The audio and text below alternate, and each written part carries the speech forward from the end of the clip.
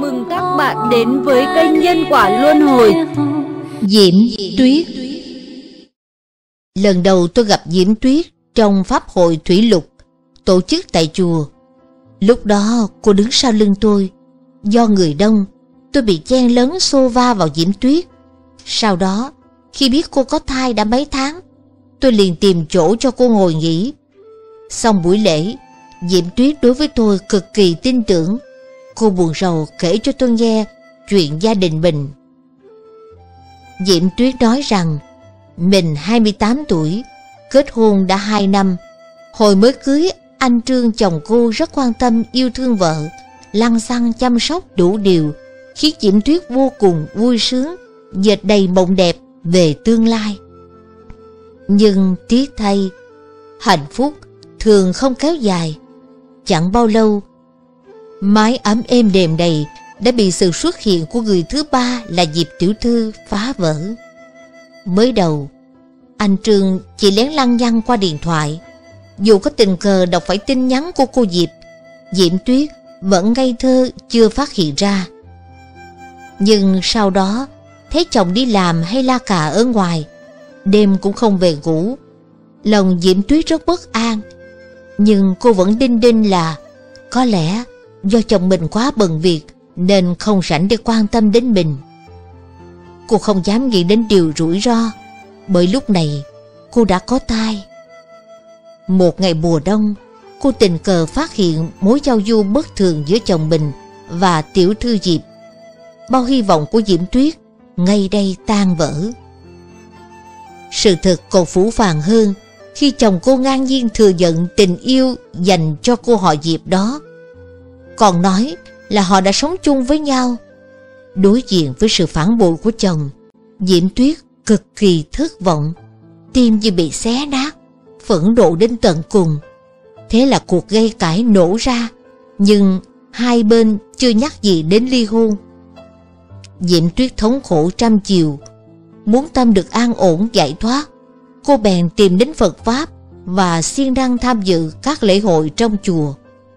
Cô hy vọng nhờ Phật lực gia trì giúp cô vơi bớt niềm đau. Nhìn Diễm Tuyết thân đang mang thai, nghẹn ngào kể lễ, khóc không thành tiếng, trong lòng tôi đầy thương xót, cảm thông.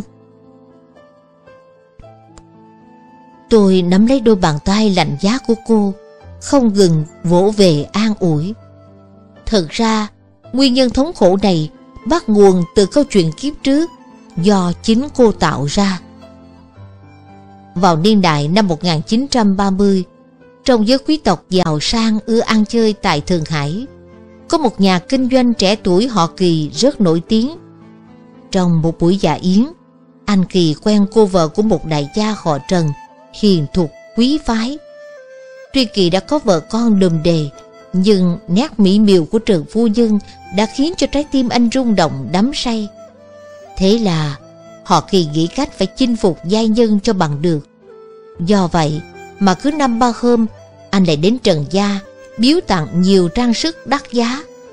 Cuối cùng, Trần Phu Nhân trẻ tuổi cũng bị cưa đổ và ngã vào vòng tay họ Kỳ.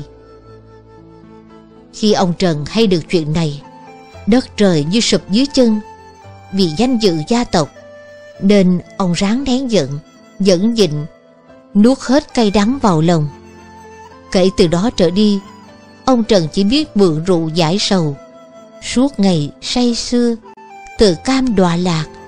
Vì vậy mà gia nghiệp mau chóng rùi tàn, lụng bại. Phận anh Kỳ và bà Trần do tính khí không hợp nên thường xuyên bất hòa. Cuối cùng họ cũng chia tay. Cả hai gia đình đều lâm vào cảnh thê ly tử tán, kết thúc trong bi thảm. Anh Kỳ hào hoa bay bướm kiếp xưa giờ chính là Diễm Tuyết. Còn Trần Phu Nhân chuyển sinh thành anh Trương, chồng Diễm Tuyết khi giờ. Riêng Trần Tiên Sinh, người chồng đau khổ bị phụ tình, này chính là cô Diệp, giờ đang xuất hiện trong vai người thứ ba, xen vào, phá tan mái ấm của Diễm Tuyết, trả lại nỗi đau bị đoạt người phối ngẫu trong kiếp xa xưa lại cho địch thủ. Đời này, mối quan hệ vận hành theo luật nhân quả trả vay đã khiến ba người gặp lại nhau. Khác chăng là giới tính đã thay đổi, nhưng do những ác nghiệp đã tạo thuở xa xưa mà người trong cuộc phải nếm lại mùi vị thống khổ từ bi kịch hôn nhân này. Tôi bảo Diễm Tuyết. Bạn đừng nên khởi tâm hận quán chồng nữa. Bởi trong quá khứ bạn từng đoạt vợ người, nên kiếp này mới nếm cảnh phụ phàng bị người giật lại. Đã bước vào đường học Phật thì phải tin sâu vào nhân quả. Bạn nên sám hối tội nghiệp đã tạo kiếp trước của mình. Hãy tụng 49 bộ Kinh Địa Tạng hồi hướng cho chồng và cô Diệp để chuộc lỗi xa xưa. Nếu bạn chịu thành tâm sám hối, tụng kinh, ăn chay, phóng sinh, thì tương lai đời bạn sẽ hạnh phúc. Diễm Tuyết mắt đầy lệ, mỉm cười, gật gật đầu. Sau này, khi gặp lại Diễm Tuyết, tôi giận không ra, vì trong cô trẻ đi rất nhiều, mặt mày hồng hào, cười rạng rỡ. Rất dễ dàng nhận thấy cô đã đạt được giải thoát an vui nhờ vào Pháp Phật.